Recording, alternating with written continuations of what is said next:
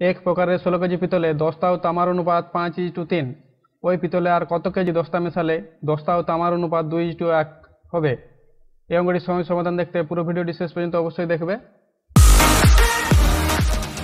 অঙ্কটি শুরু করা যাক। এক প্রকার পিতলের ষোলো কেজি পিতলে তামা দস্তা তামার অনুপাত আছে কত? দস্তা ইজ টু তামা আছে ফাইভ ইজ টু থ্রি দশটা তামার অনুপাত আছে, পাঁচ ইজ টু তিন, অনুপাতের মোট কত?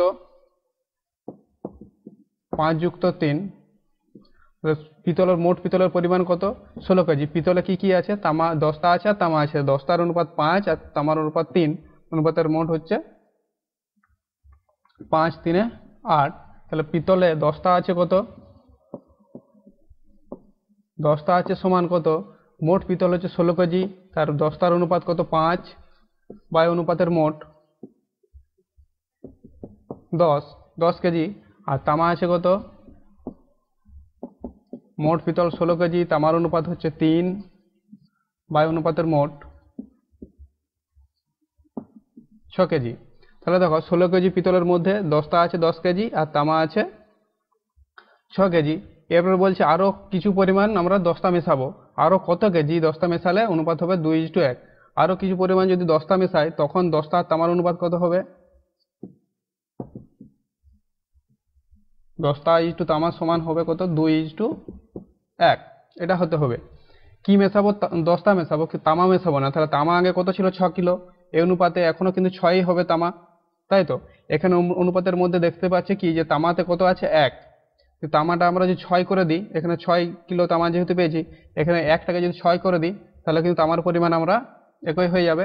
তাহলে ওটাই করি, তাহলে এটাকে ছয় করতে গেলে ছয় দিয়ে গুণ কিন্তু অনুপাতের তো একটাকে গুণ করতে পারি না, দুটাকে গুণ করতে হবে। তো দুই গুণিত ছয় ইজ টু এক গুণিত ছয় সমান বারো ইজ টু ছয়। তাহলে কি হলো দেখো, তামা ছ কিলো ছিল, এখানে তামা ছ কিলো আছে দশটা কত হয়েছে? বারো কিলো। তাহলে আমাদের দশটা ছিল কত, যখন ষোলো কেজি পিতল ছিল, তখন দশটা ছিল দশ কিলো। আর টু টু ওয়ান অনুপাত হতে গেলে দশটার লাগবে আমাদের কত? বারো কিলো। তাহলে দশটা কত মেশাতে হচ্ছে?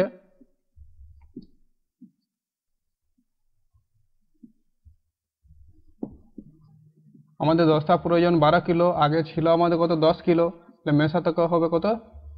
দু কেজি। আমাদের উত্তর পেলাম কত? দু কেজি। তাহলে কোন অপশানটি ঠিক হচ্ছে? ঠিক হচ্ছে অপশান এ এই প্রশ্নটির উত্তর তোমরা করবে। যদি উত্তর এ হয়, তাহলে এ বি হলে বি সি হলে সি এবং ডি হলে ডি তোমরা কমেন্ট করে জানাবে কোন উত্তরটি ঠিক হলো। আমি এই চ্যানেলটিতে চাকরির পরীক্ষার অঙ্কের সহজ এবং শর্টকাটে সমাধান নিয়ে আসি। ভিডিওগুলি ফ্রিতে দেখতে ওই লাল সাবস্ক্রাইব বটনটি অবশ্যই প্রেস করবে, সাথে বেল আইকনটি প্রেস করবে যাতে নোটিফিকেশান পাও। ভিডিওটি অবশ্যই লাইক করবে।